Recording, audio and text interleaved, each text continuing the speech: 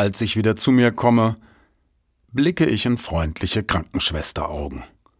Das ist aber schön, dass es Ihnen bei uns so gut gefallen hat, dass Sie gleich wieder zu uns gekommen sind, werde ich begrüßt. Ich finde mich also in vertrauter Umgebung wieder. Zwar in einem anderen Zimmer, aber im selben Krankenhaus. Wir freuen uns immer über Stammgäste, scherzt die Schwester weiter, deren Namen ich zwar nicht mehr weiß, deren sonniges Gemüt mir aber von heiteren Blutabnahmemomenten in Erinnerung ist. Mein Kopf dröhnt, ich fühle mich noch schwächer als schwach und ich hänge auch mal wieder an einem dieser blöden Tröpfe. Sie hatten einen markigen Kreislaufkollaps, Herr Brömann, flötet sie und verlässt danach mein Zimmer. Erst langsam kommen die Erinnerungen wieder. Nein, es war leider kein schlechter Traum. Es war die gruselige Realität. Was ist mit Franziska? Weiß sie schon Bescheid?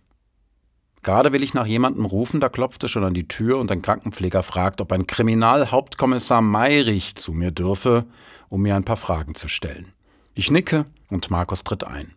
Er begrüßt mich herzlich, versucht sogar unbeholfen, mich im Liegen zu umarmen und setzt sich auf den Stuhl, der neben dem kleinen Tisch am Bett steht. Teichner, sage ich matt. Markus blickt zu Boden. Wir schweigen eine Weile. Wie habt ihr mich gefunden? frage ich dann. Als du nicht zum Treffpunkt gekommen bist und über dein Handy nicht erreichbar warst, war mir gleich klar, dass irgendwas nicht stimmt. Ich habe sofort eine Handyortung in die Wege geleitet und so haben wir dich gefunden.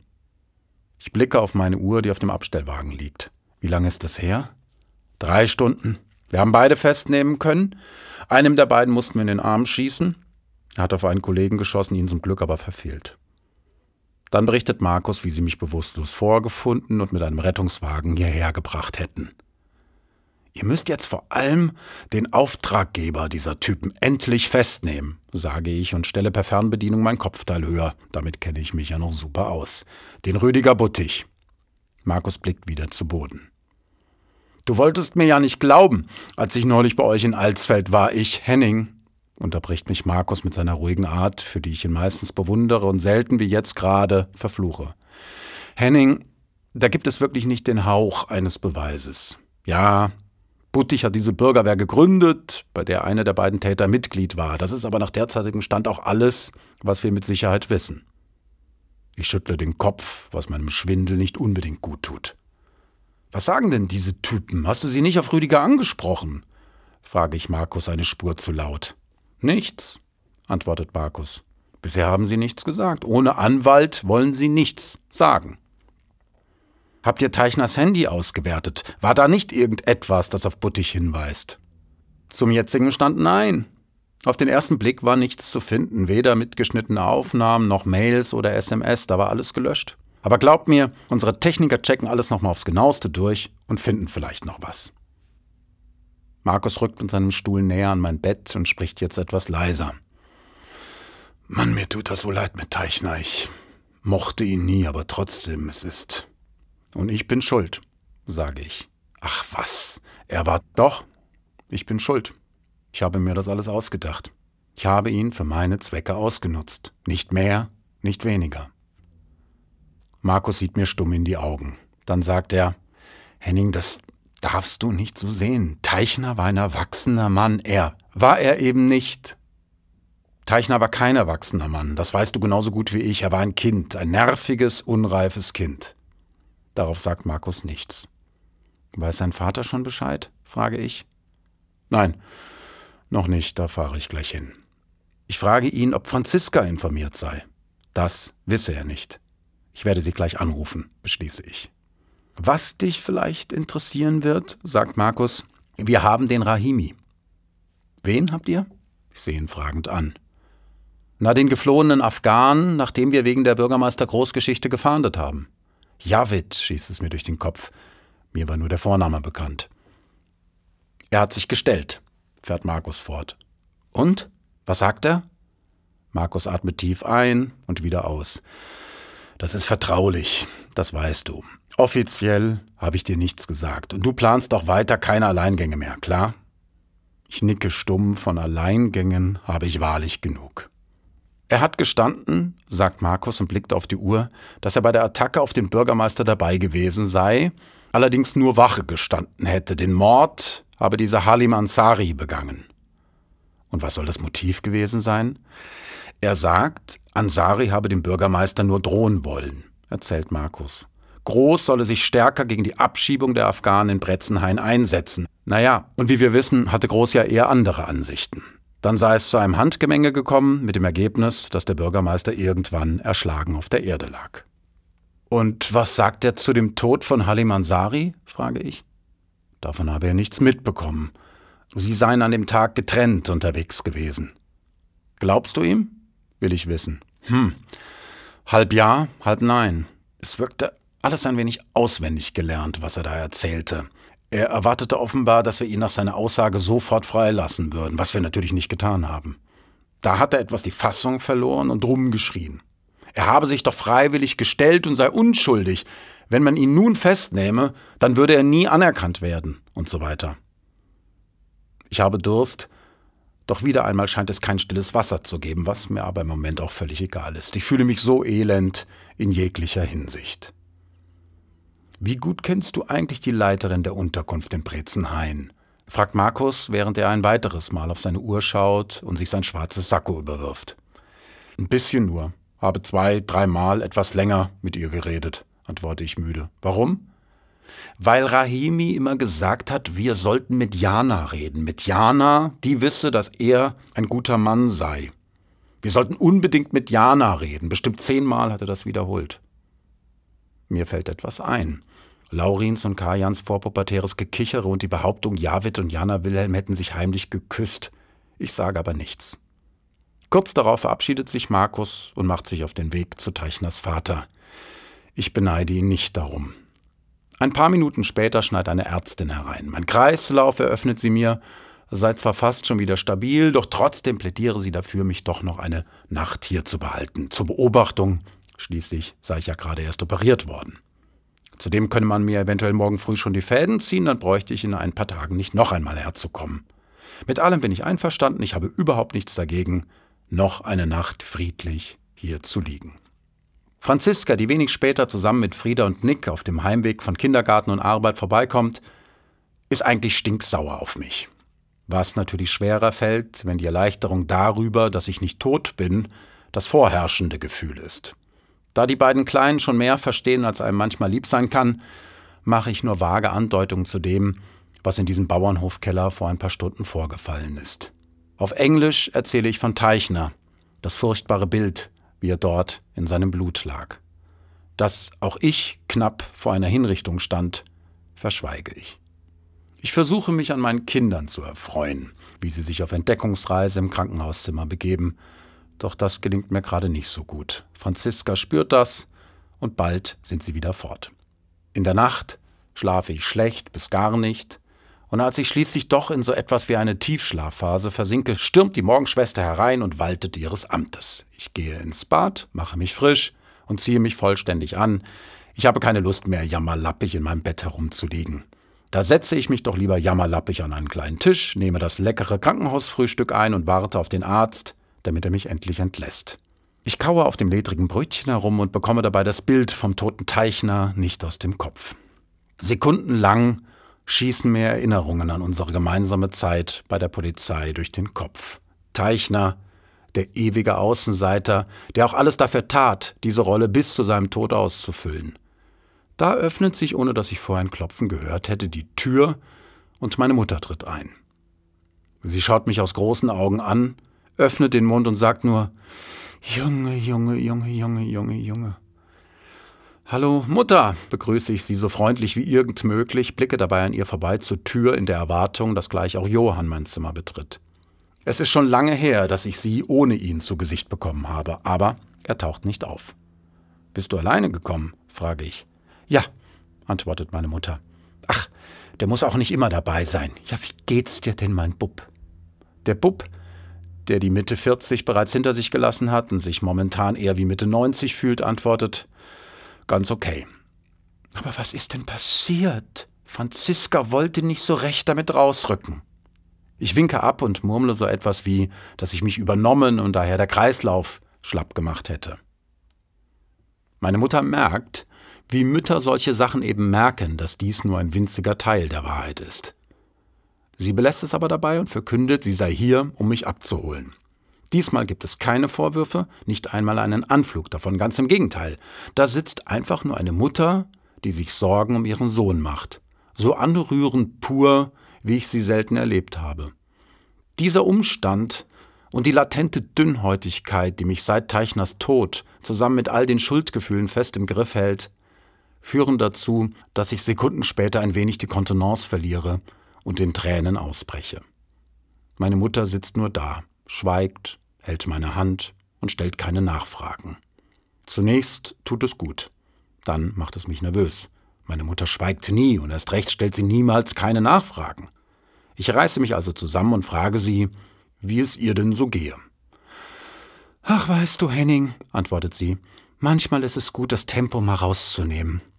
Seit dein Vater gestorben ist, bin ich nur auf Achse und bin so aktiv wie noch nie, stürze mich von einem ins andere und dann nun der Johann, ne? und im Herbst soll geheiratet werden. Sie blickt lange schweigend aus dem Fenster. So habe ich sie wirklich lange nicht mehr erlebt.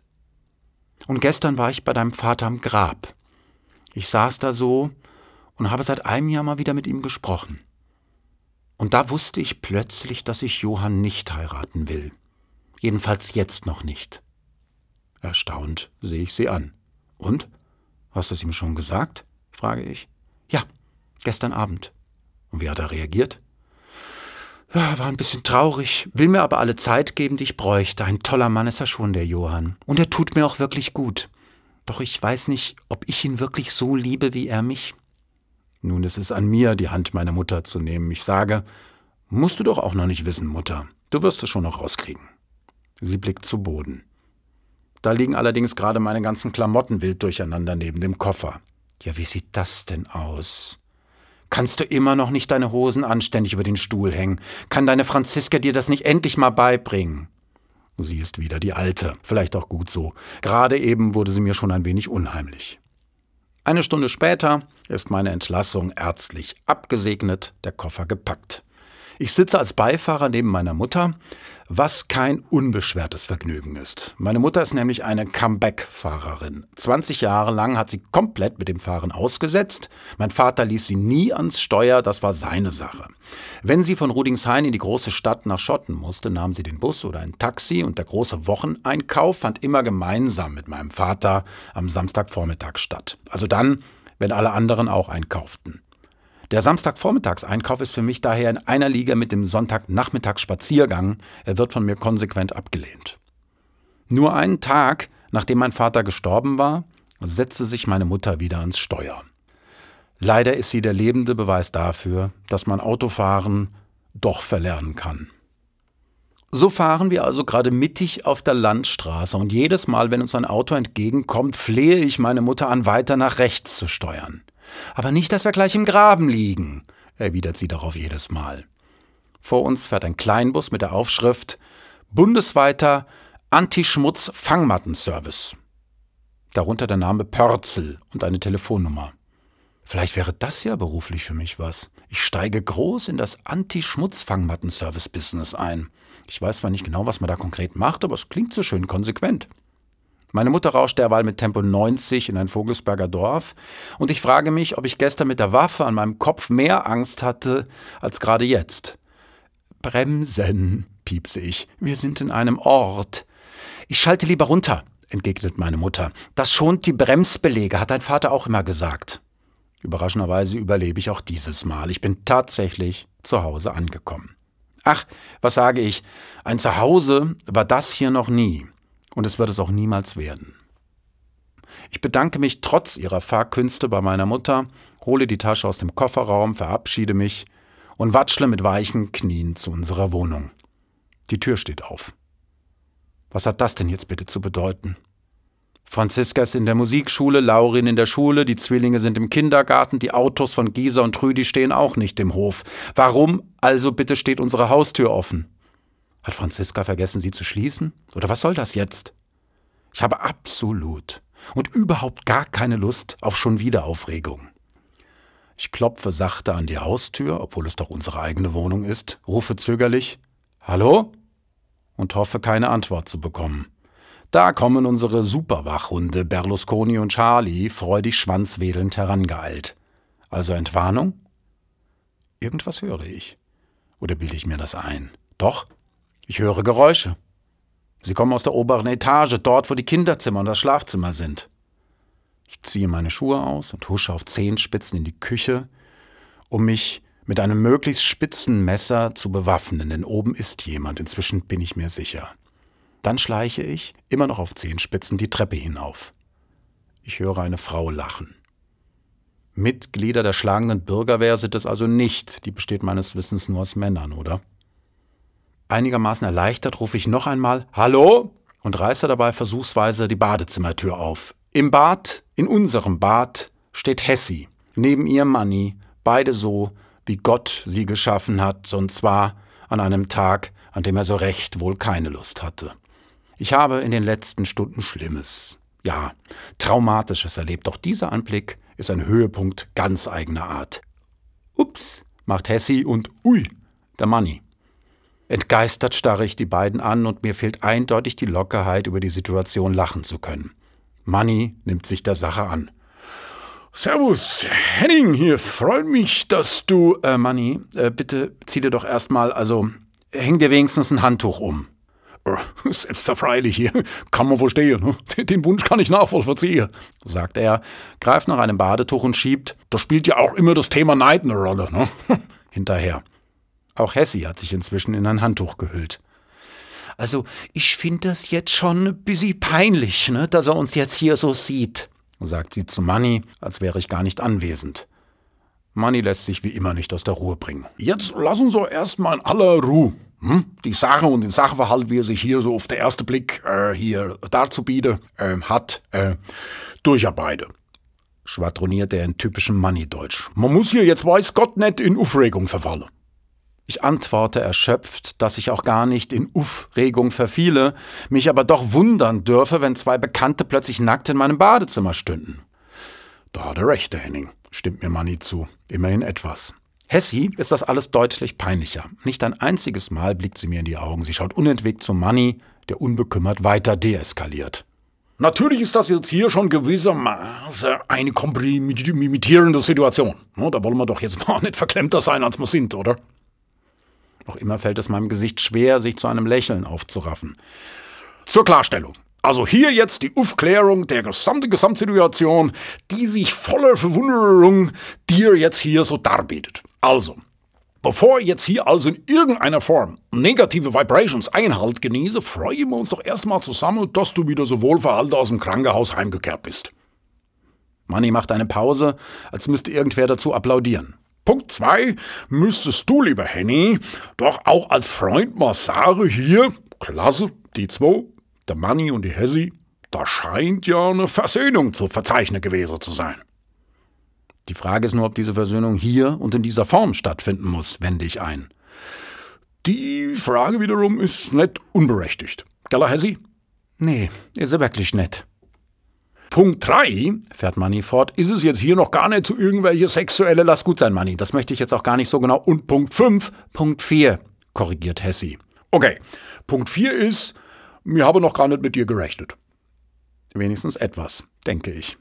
Dann erklärt Hessi, Franziska habe die beiden gebeten, mit den Hunden Gassi zu gehen, da sie diesmal früher zur Arbeit müsse und ich erst am Mittag nach Hause käme. Und nun sei ich ja schon am Vormittag zurück, und durch das schwüle Wetter sei man eben ins Schwitzen gekommen, und da hätten sie die Idee gehabt, noch eine kleine Dusche zu nehmen. Hessi ringt sich eine Entschuldigung ab, die ich natürlich akzeptiere. Ich erspähe auf Mannys Brust eine Tätowierung. Wieso hast du denn da einen Ochsenkopf äh, tätowieren lassen? frage ich ihn. Ei, das soll doch die Hessi sein, antwortet er. Ah, murmle ich, und wir belassen es dabei. Ich bekomme die beiden danach schneller los, als ich zunächst befürchtet habe, und kann zudem erfolgreich allen Fragen nach meinem Befinden und nach den Erlebnissen der letzten Tage ausweichen. Unruhig laufe ich danach in der stillen Wohnung hin und her, trage irgendwelche Dinge sinnlos von hier nach dort. Ich müsste mich eigentlich ausruhen, doch die Ruhe, mich jetzt einfach aufs Sofa zu schmeißen, finde ich nicht. Ich kann mich nicht entspannen, nicht einmal an TV-Serien gucken, es zu denken, und das soll schon was heißen. Ich bin es Teichner schuldig, weiterzumachen. Auch wenn ich nicht wirklich weiß, wie. Hier zu Hause zu bleiben ist jedenfalls keine Option. Also schnappe ich mir meinen Autoschlüssel und fahre nach Bretzenhain zur Flüchtlingsunterkunft in der Hoffnung, dort Jana Wilhelm anzutreffen.